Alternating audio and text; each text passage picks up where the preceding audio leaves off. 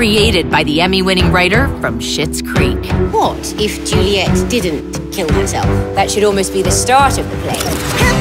And Juliet.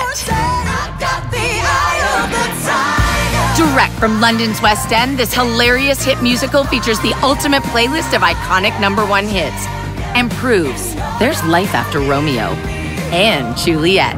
Pre Broadway engagement begins June 22nd. Book now at Mirvish.com.